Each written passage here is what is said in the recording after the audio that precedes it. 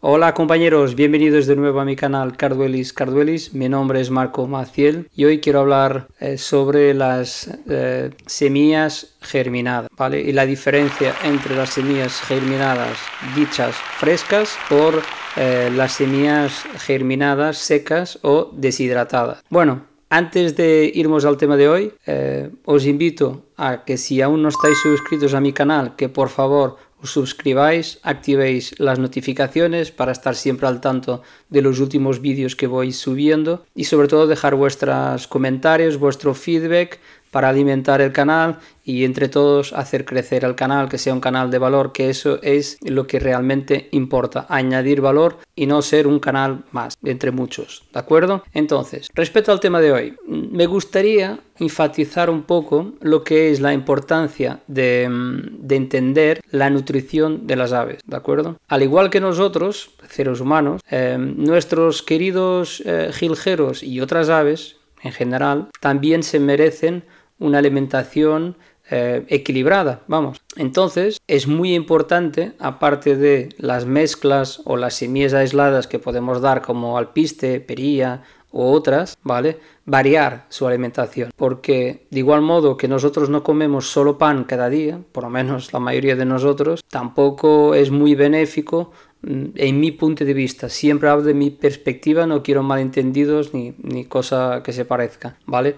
También no es benéfico para ellos administrarles única o exclusivamente cierto tipo de alimentación. Debemos variar. Variar es súper importante porque al final le vamos a administrar todos los nutrientes que le hacen falta a las aves en cautividad. Bueno, entonces, para entender todo, ¿Qué son las semillas em, germinadas? Bueno, vamos al grano para explicar un poco. ¿Qué son las semillas germinadas? La mayoría de vosotros seguro que, sabéis lo que es. Pero para todos aquellos que no saben lo que es o que nunca han hecho, ¿vale? Aquí queda un poco una explicación muy breve y concisa sobre el tema. Las semillas germinadas, ¿vale? Son literalmente semillas que han comenzado el proceso de transformación en una planta. Y me preguntáis, Marco, ¿cómo hago para germinar? Puedes hacer la forma más básica que hay. Coges un recipiente, un balde, ¿vale?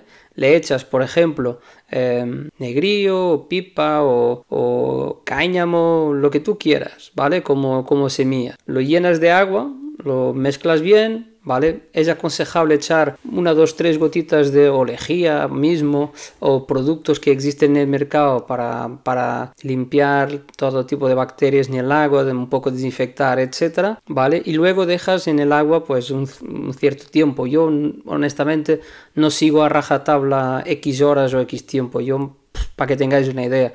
Si le dejo toda una mañana, por la tarde ya lo pongo en un coador y se quedan ahí secando y voy lavando cada dos o tres horas, las lavo bien, súper bien en agua corriente, los dejo ahí otra vez, ¿vale? Entonces es todo un proceso que normalmente si las semillas tienen calidad máximo un día, día y medio, ya notarás que las semillas, por ejemplo el negrillo, a despuntar una puntita blanca, ¿Vale? Entonces eso ya se ha iniciado, ya se ha dado el proceso de germinación. Espero que haya sido claro y, habéis podido entender cómo se genera el proceso de germinación. Este es por un lado. ¿Vale? Para aquellos que no conocían, para vosotros, pues vamos a seguir con el tema. Entonces, eh, ¿qué ocurre durante la, germinación de la semilla? Pues ocurren varios procesos bioquímicos, convirtiendo este, estas semillas, ¿vale? En verdaderas bombas de nutrientes. ¿Vale? Para nuestros pájaros. Y ahora vamos a explicar la otra vertente de semillas germinadas que podréis encontrar ya en el mercado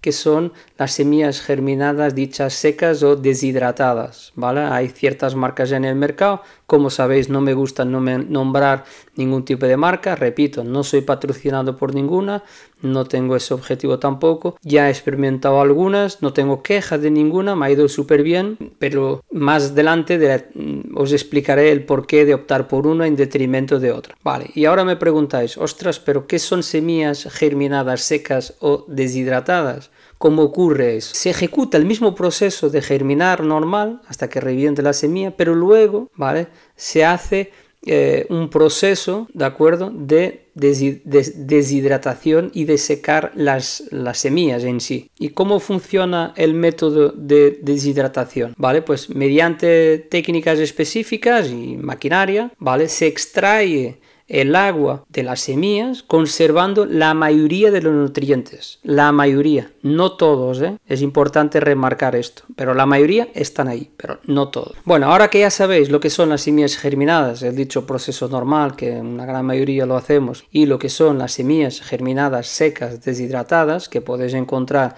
en envases plásticos o baldes, ¿vale? En tiendas de distribución o de animales. Y ahora que sabéis cuál es la diferencia entre una y otra, ¿vale? O, y cómo ocurre el proceso de una y otra, ¿vale? Vamos aquí a explicar algunas ventajas de las semillas germinadas. Bueno, las semillas germinadas son un manjar, literalmente, un manjar estupendo. Ellas poseen una actividad enzimática vibrante que ayuda a la digestión eh, de las aves, haciendo que el alimento es aún más rico para las aves. Bueno, y ahora, ¿cuáles son las gran ventajas de las semillas germinadas secas o deshidratadas? Bueno, pues es fácil. Piensa en, las semillas eh, germinadas secas como una despensa llena de, de, buenos nutrientes listos para ser usados en cualquier momento. Llegas a tu despensa, lo coges, les das a cualquier momento. Con menos agua, el riesgo de contaminaciones disminuye considerablemente, convirtiéndolas obviamente en una opción muy segura. Hay que remarcar esto, ¿vale? es la facilidad de administrarlas y esta seguridad también por la parte de menos riesgo de contaminación. Yo me gusta dejar bien claro que que esto es una gran ventaja de las semillas germinadas dichas secas o deshidratadas. Y ahora sí vamos por la parte de desventajas y precauciones para ambos tipos. Como todo en la vida, siempre hay un pero, ¿no? Siempre te tienes que asegurar de la calidad de las semillas que, que estás adquiriendo. Llevo tiempo hablando de esto, he hecho ya bastantes vídeos y remarco siempre esto. La calidad de las semillas es súper importante. Tú puedes tener tres tipos de alpiste 4 o 5. Pero ellos te van a ir más rápido a uno que a otro. Te van a comer mucho más uno que otro. ¿Vale? Y el pista puede venir hasta en el mismo contenedor de Canadá, del mismo distribuidor. Pero luego todo el proceso hasta que llega a tu casa puede hacer con que uno tenga menor calidad. Y los pájaros lo notan. Entonces, mucho cuidado con la calidad. Es súper importante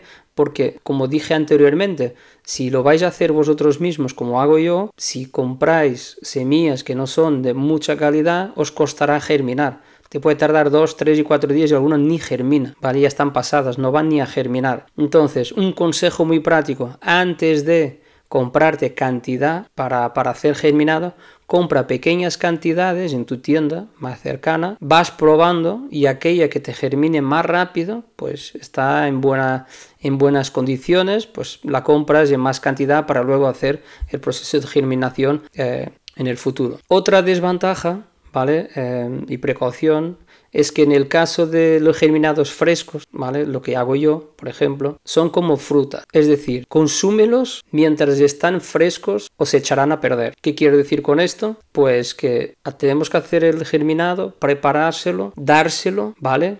y luego conservar lo mínimo de tiempo posible. Por eso no tampoco es recomendable hacer mucho germinado, guardarlo varios días en la nevera porque no va a ir bien y el riesgo de, contaminación es muy elevado. Bueno, y de manera general, como, como he repasado aquí, eh, cada tipo de semilla tiene sus méritos, ¿de acuerdo? Lo más importante es que nuestras aves eh, reciban una dieta rica y variada. Yo, de verdad, os aconsejo probar las dos opciones que os he dicho, ¿vale? La germinación normal, que una gran mayoría de nosotros la hace en casa, y luego comprar las semillas deshidratadas o secas y que las probéis. Y al mismo tiempo que la vais probando, tenéis que ir observando eh, el comportamiento y la salud de vuestros pájaros, ¿vale? Son ellos sin duda eh, que te darán el mejor feedback, no soy yo, son ellos, ¿vale? Igual yo te digo una cosa, pero ellos les aporta más, más valor nutritivo otra cosa. Ahora me podéis preguntar, Marco, tú has probado las dos, ¿qué, que recomiendas o que estás eh, haciendo en este momento. Efectivamente, yo he probado las dos, ¿vale? De hecho, estuve prácticamente un año y pico dando solo semente germinada seca, deshidratada, ¿vale? Pero luego, y no, no voy a ser hipócrita, ¿eh? en estas cosas voy muy directo al grano. Si yo dejé de darles exclusivamente eh, semillas secas o deshidratadas es por un tema puramente económico, es decir, son muy caras a mi punto de vista. Cuando cuanto más ejemplares tienes, más necesitas. Entonces, se volvió muy caro para mí. Podría decir, hostia, pues es un coste y tal, pero tiene mucho pájaro. Sí, pero es muy caro. Al final hablamos que sin hablar marcas, ¿no? Pero una bolsita de 4 kilos es un dineral, ¿vale? Y cuando tú miras la, la fórmula de, de, esas bolsitas, lo que lleva dentro, las semillas que lleva, y comparas con el valor de mercado más o menos para hacer lo mismo, es una diferencia brutal. Yo entiendo que aquí hay un trabajo de gente que tiene que hacerlas, de una, de una manufacturía, etcétera, etcétera, etcétera. No quiero justificar nada. Mi opción, mi opción de, volver a lo antiguo, es decir, hacer yo la germinación y darles yo, es puramente eh, la parte económica, no os voy a engañar, ¿vale? Esto no está fácil para nadie y, y, a mí me incluyo, entonces yo elegí por volver atrás en, la, en, lo que toca a las semillas germinadas, pero repito, a mí me encantaba darles las semillas eh, deshidratadas o secas y no tengo nada en contra. Es cierto que no tiene el 100% de nutrientes con respecto a la otra, pero los riesgos también bajan drásticamente con el hecho de darle las semillas deshidratadas o secas. Hay que tener eso muy en, en, cuenta, ¿vale? Hay que ser honesto, yo lo soy en todo momento y digo lo que pienso. El riesgo cuando tú les das sem semillas germinadas, secas o deshidratadas, el riesgo de contaminación baja considerablemente, ¿vale?